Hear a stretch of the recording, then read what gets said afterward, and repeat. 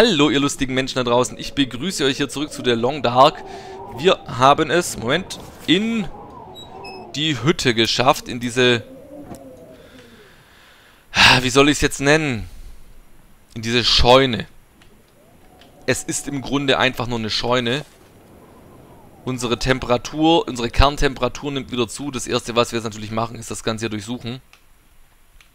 Qualitätswerkzeug? Was ist denn das? Hochwertiges Werkzeug für die Herstellung und Reparatur von Dingen. Hä? Moment. Qualitätswerkzeug? Einfaches Werkzeug. Grundlegende Dinge. Okay, wieder was Neues gelernt. Wieder was Neues gelernt. Jetzt... Okay, Holz immerhin nochmal. Wo kommt denn jetzt das Qualitätswerkzeug her? Ich glaube, dieses Mal werden wir uns auch eher hier einrichten. Zumindest ist das jetzt, ja, ich sag jetzt mal, eine, eine Überlegung von mir, weil wir hier auch die ganzen Werksachen haben. Oder wir gehen doch wieder zur anderen Hütte. Huch, was ist denn da? Da liegt noch ein Schal rum. Und eine Wasserflasche. Sehr fein. Immerhin, immerhin, immerhin. Aber ich bezweifle, dass wir hier Medikamente finden werden. Oh, eine Crowbar, ein Brecheisen. Und mal wieder die Kapuze. Auto mit Zeitung drauf. Ja klar, eine Zeitung im Auto hinten. das würde ja super funktionieren. Oh, geil. Fresshalien. Müsli-Riegel. Ich kann mich immer noch nicht umdrehen im Auto. Oh doch, man kann das jetzt. Moment. Nee, kann man nicht. Okay, war nur ein Versuch. Da liegt auch nochmal Holz rum. Also was wir jetzt definitiv mal tun könnten, ist äh, Sachen gleich mal trocknen. Und natürlich auch ablegen. Ja, du kriegst erste Hilfe, sobald wir sie gefunden haben. Mehr Streichhölzer. Ein verschlossener Spind ist immer eine gute Idee. Ja, immerhin nochmal was zum Anziehen. Ein paar Salzcracker. Tolle Kombination übrigens. Salzcracker und was zum Anziehen. Energieriegel. Einfache Stiefel. Und nochmal ein verschlossener. Was ist da drin? Antiseptikum, Schmerzmittel. Schmerzmittel! Ja, ja, ja, ja. Moment, da war doch was. Verwenden. Oh, endlich. Was das angeht, sind wir jetzt immerhin wieder gut dran. Wir haben also etwas gegen unsere Schmerzen tun können. Okay. Hier gibt jede Menge Werkzeugkästen, so wie es aussieht. Was ist da drin? Ja, ja, kannst du benutzen, kannst du benutzen. Nach Gutdünken. Ah, da ist leider nichts drin. Aber zum Glück gibt es hier mehrere Schubladen. Mehr Metallschrott. So weiter geht. Also ich muss jetzt demnächst mal wirklich ablegen. Da ist nochmal eine Sturmlaterne. Das ist auch top. Ist da irgendwas noch versteckt? Das musste ich ja lernen beim letzten Mal, dass da Dinge versteckt sein können. Aber dieses Mal ist es anscheinend nicht der Fall. Okay definitiv konnten wir jetzt wenigstens mal was gegen unsere Unterkühlung tun.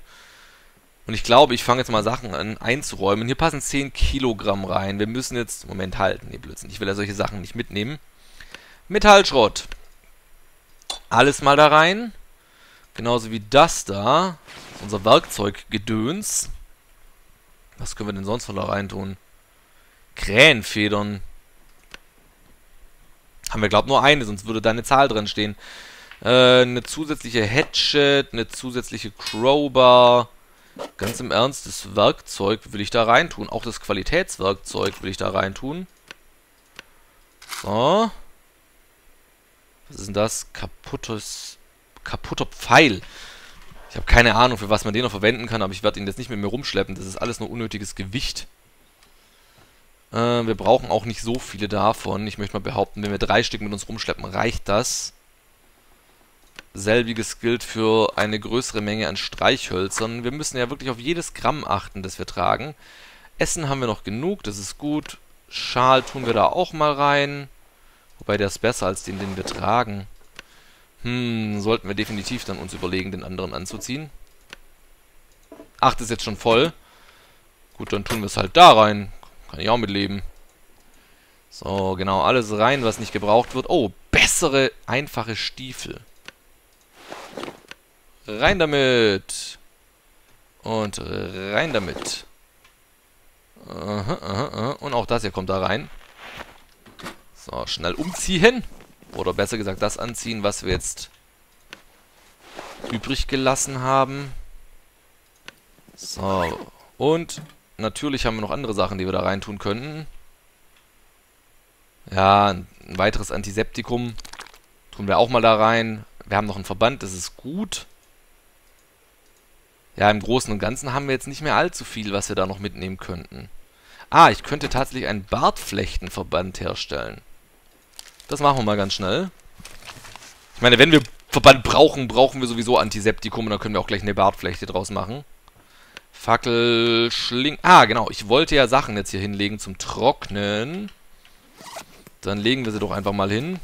Wo sind sie denn da? Wolfsfell. Ablegen. Schritt nach vorne.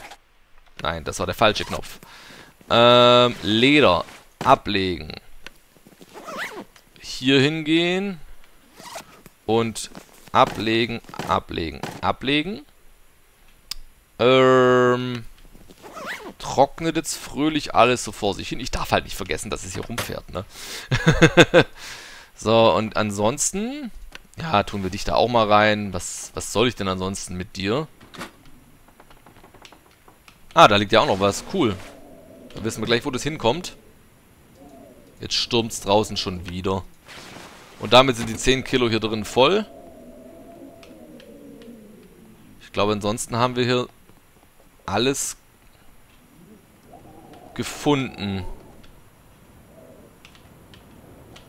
Scheint so zumindest. Ah, nee. Das ist noch eine einfache Zeitung. Wie spät haben wir es denn? Weiß ich nicht, aber auf jeden Fall ist unsere Kälte quasi wieder ganz unten. Was ich sehr gut finde. Ach, wisst ihr was? Dann können wir das hier kurz mal einfach zerlegen. Ratsch. wir müssen jetzt sowieso erstmal hier eine Runde verbringen, weil, ganz im Ernst, ich traue mich mit diesem Gesundheitszustand nicht raus. Also, mit unter 50% brauchst du nicht vor die Tür gehen. Das ist tödlich. Versehentlich einen Wolf übersehen und bist tot. Und weiß der Geier, was da potenziell noch für neue Gefahren da sind. So, so viel eigentlich brauchen wir davon auch nicht. Ähm, Moment, ich kann eigentlich mal das Licht ausmachen. So dunkel ist ja auch gerade eben gar nicht, wa? Wobei, es ist schon ordentlich dunkel. Wie spät haben wir es denn? Wie viel? Etwa sieben Stunden Tageslicht übrig. Wir gucken nur mal kurz raus. Einfach nur Vorsicht. Wir sind ja ganz schnell wieder drin, falls irgendwas Dummes passiert, ne? So, draußen.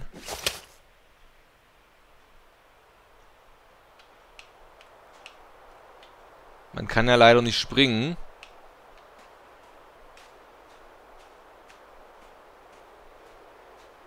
Ich gucke mir mal den Trecker an. Ich sehe da schon einen Schokoriegel liegen. Und eine Gipfelbrause. Ansonsten Gibt es da nicht so viele Optionen. Ich sehe auf jeden Fall auch gerade eben keinen Wolf, der uns irgendwie auf die Pelle rücken will. So können wir uns auch mal hier kurz mal den Hänger anschauen. Wo tatsächlich was rumliegt. Metallschrott. Keine Ahnung woher, aber wir nehmen es mit. Okay. Hm, wie so ein Erdmännchen gucke ich mich jetzt gerade eben um. Einfach mal nur so die nähere Umgebung. Der Hügel verdeckt natürlich leider ein ordentliches Sichtfeld. Da hinten, da müssen wir noch irgendwann hin. Da ist die andere Hütte. Aber ganz im Ernst, ich bin jetzt schon froh, dass wir hier sind. Also ich bin nicht unbedingt froh, dass wir jetzt überhaupt hier sind, aber ihr wisst, was ich meine. Dass wir es hierher geschafft haben in diesem Sturm. Nee, weiter gehe ich jetzt nicht vom Haus weg. Ich bin noch nicht bescheuert. Jetzt wird erstmal eine Runde geknackt, bis wir die 100% wieder haben. Sollte jetzt echt kein Risiko eingehen, schon gar kein dummes. So, wir essen uns erstmal eine Runde satt. Dafür haben wir ja lecker, lecker Fleisch. Und können nochmal hier eine ordentliche Dose Sardinen aufmachen.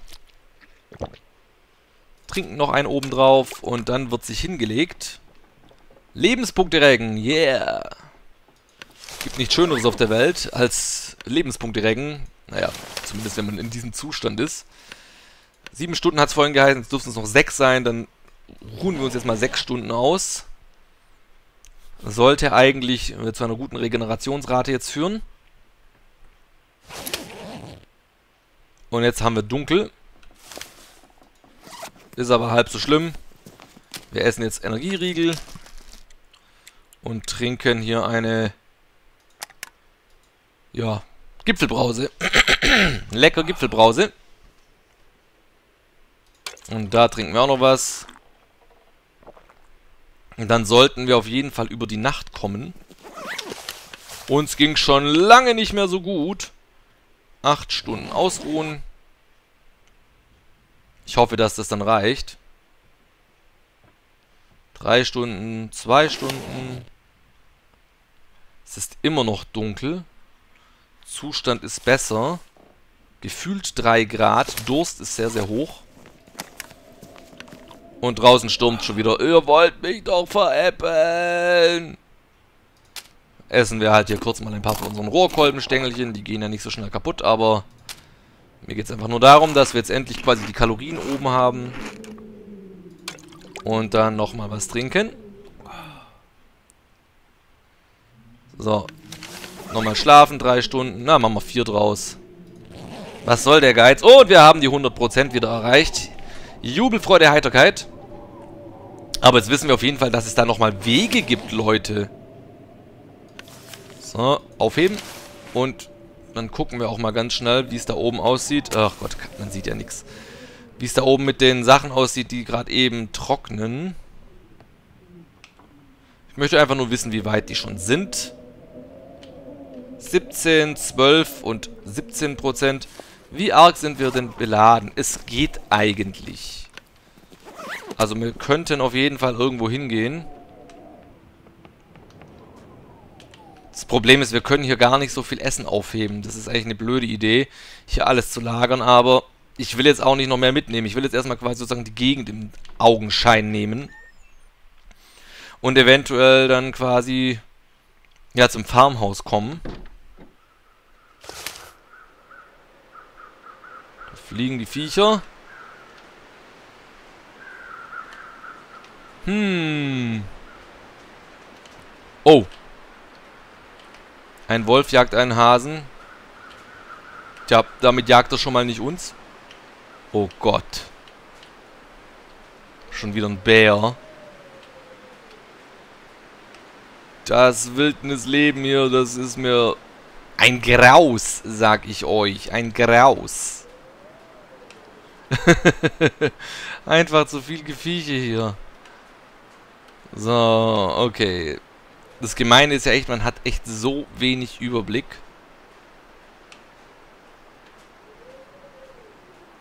Theoretisch kann hinter jedem von diesen Dingern da so einer gerade eben so völlig vor sich hin campen. Von diesen Wölfen. Keine Sorge, wir gucken uns diesen Ladewagen irgendwann auch noch an. Wenn wir so lange überleben. Ich will jetzt einfach nur weiterkommen fürs Erste und äh, die nächste sichere Bude erreichen. Vor der Aufnahmepause. die ist in sechs Minuten nämlich schon wieder. Oje, oje, oje. Ich hatte ehrlich gesagt gedacht, wir kommen da hinten raus, aber wir sind irgendwo da hinten rausgekommen im Gebirge. Was so gesehen relativ logisch ist, denn da war ja auch irgendwo das, ähm, wie heißt's? Äh, äh, äh das, die, die Mine. Also im Großen und Ganzen ist das hier schon sehr, sehr logisch durchdacht, wie die Gebiete zusammenhängen. So gesehen eindrucksvoll, muss ich ganz ehrlich sagen. Aber das hilft mir gerade eben trotzdem nicht weiter. okay, wieder nur irgendwelche Schuppen mit jede Menge Strohballen. Wir treiben jetzt mal diesen Hirsch vor uns her. Falls da irgendwo ein Wolf ist, dann darf der sich erstmal um diesen Hirsch kümmern. Ein Bait vorschicken. Wir schicken ein Bait vor, ein Opferbob. Das ist der Opferbob da vorne. Der Hirsch heißt Opferbob. Wir haben ihn soeben getauft. so. Das müssten wir doch eigentlich... Ja, da drüben ist es. Da drüben ist es. Da kennen wir uns wieder aus. Ach, wie ich jetzt hasse, diese nicht einsichtigen Bereiche. Maximale Paranoia macht sich breit. La la la la. Und gucken. Hirsch. Kein Wolf. Sehr schön. Mein größter Albtraum wäre, das Ding ist niedergebrannt. Ich weiß gar nicht, ob das sein kann. Ich persönlich befürchte, ja. okay, weiter, weiter, weiter. Wir sind gleich da. Und dann werden wir uns jetzt erstmal hier ganz, ganz großzügig umschauen. Der Bauernhof. Okay. Kann man jetzt da vielleicht inzwischen rein? Nein. Ich warte echt drauf, dass wir da irgendwann mal rein dürfen. Da laufen... Was war das? Ich dachte, ich hätte da gerade was gehört. Gott, mit, mit, mir gehen die Nerven durch, Leute. mit dem Mörb gehen die Nerven durch, der wird bald eingeliefert. kommt das grüne Wägelchen und holt ihn ab. Ganz, ganz stereotyp. Ach ja, und da meine liebste Veranda. Weil man da einfach in Sicherheit mal gucken kann. Ein Kanaster und ein, eine Zeitung. Die Metallbox hier, die leer ist. War sie, glaube ich, das letzte Mal auch. Das ist eine der besten Positionen im ganzen Spiel, möchte ich behaupten. Einfach nur, weil man rausgucken kann und damit quasi sicher rausgucken kann. So, Moment. Was? Habe ich versehentlich irgendetwas abgelegt? Ich habe Fleisch abgelegt. Das wollte ich gar nicht. So, mein gegartes Wolfsfleisch. Oh, ein rohes Kaninchen. Sollten wir wahrscheinlich in absehbarer Zeit mal braten. Ansonsten ist im Kühlschrank irgendwie Ebbe. Aber... Wo haben wir es denn? Da sind unsere Fressalien. Da räume ich doch jetzt glatt mal das Essen ein. Und nehme nur Dinge mit, die auch bald gegessen werden müssen. Wie zum Beispiel die Chips hier. Äh, die Cracker. Äh, Trinken ist tatsächlich inzwischen relativ knapp. Ähm, wir schauen uns erstmal um, ne? So, das Übliche halt. Nähset, Papier, der geile Ofen. Mit etwas Zunderbündel direkt daneben, damit das Haus auch schön Feuer fängt, sobald man irgendwas anzündet. Ich sehe da links gerade eben schon genau das hier. Einen Dosenöffner. Aus den Augenwinkeln sah ich ihn. Er konnte sich nicht vor mir verbergen.